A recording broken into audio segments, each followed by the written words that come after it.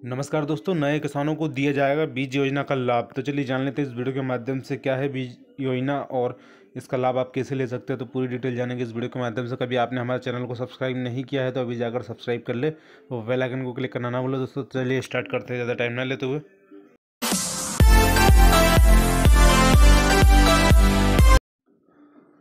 तो दोस्तों, देश में विभिन्न फ़सलों का उत्पादन एवं उत्पादकता बढ़ाने के लिए सरकार द्वारा किसानों को अनुदान पर बीज उपलब्ध कराए जाते हैं। इस कड़ी में बिहार सरकार द्वारा किसानों को अनु, जो है अनुदानित दरों पर ब्याज दिए जा रहे हैं, जिसको लेकर बिहार के कृषि मंत्री कुमार सर्वजीत ने अधिकारियों को निर्देश दिए कि योजना का लाभ नए किसानों को दिया जाए।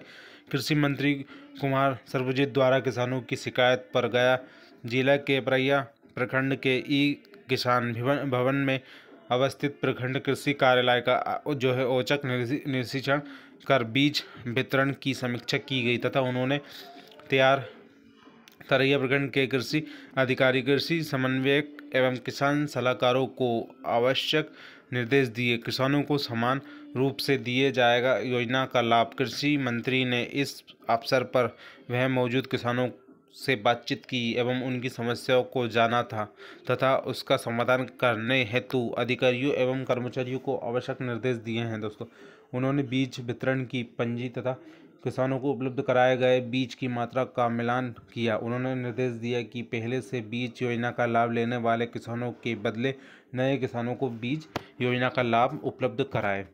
इस कार्य में जो है शिथिलता बरतने वाले पदाधिकारी एवं कर्मियों पर नियमानुकूल कार्रवाई की जाएगी। उन्होंने कहा कि जब किसान ई किसान भवन में आए तो उन्हें आदर सहित बिठाएँ।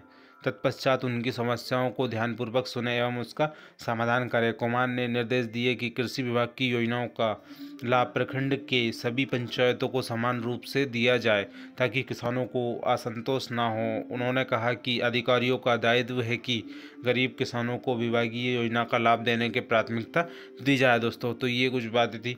तो दोस्तों, कभी ये वीडियो अच्छी लगे तो प्लीज़ लाइक करें, शेयर करें, सब्सक्राइब करें। धन्यवाद दोस्तों, मिलते हैं नेक्स्ट वीडियो में। जय हिंद, जय भारत।